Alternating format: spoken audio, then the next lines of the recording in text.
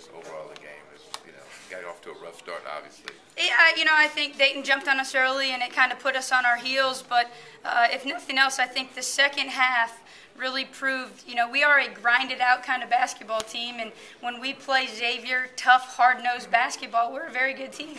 Uh, we shot 60% in the second half and they shot 33%. Uh, but, you know, what I just told my team, our team, and there is, it's, it's, it's two halves, and we've got to play two halves. And when we dictate how we want to play, we're a good basketball team.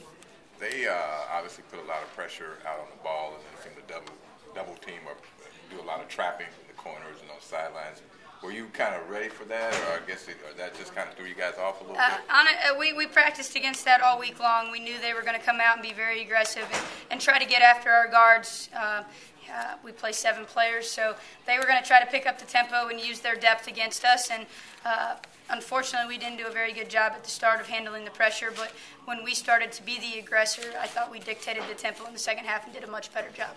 Were you proud of the way they, they didn't pack it in and just kind of say, oh well, you know, this is Absolutely. I, I, just, I just told him that in, in the locker room. You know, I'm not a big one for for moral victories, and, and not that this is a moral victory, but what I told them was that I am extremely proud of their effort because when they did get up by 23 points, we could have packed it in.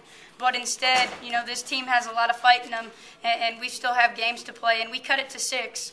Um, so I think, you know, I thought that was a great sign of where this team can be. And, and what it showed us is we, we can play with anybody. We just need to play Xavier basketball for 40 minutes.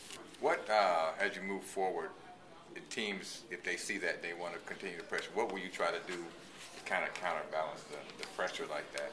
Uh, You know, we just need to do a better job of moving the ball together. And then once we break it, we need to attack them when they've got everybody in the front court. We need to attack them and attack the rim and draw fouls and put pressure on them when we have an advantage. Okay.